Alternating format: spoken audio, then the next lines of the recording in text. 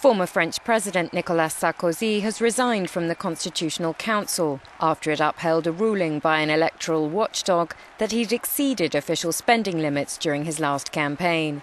Sarkozy, who lost out to socialist Francois Hollande in last year's election, says he'll respond to the council's decision and had to resign from the body immediately in order to do so. There's speculation that the ruling could spell trouble for Sarkozy's Conservative UMP party and create a potential obstacle to the former leader's possible return to the political stage.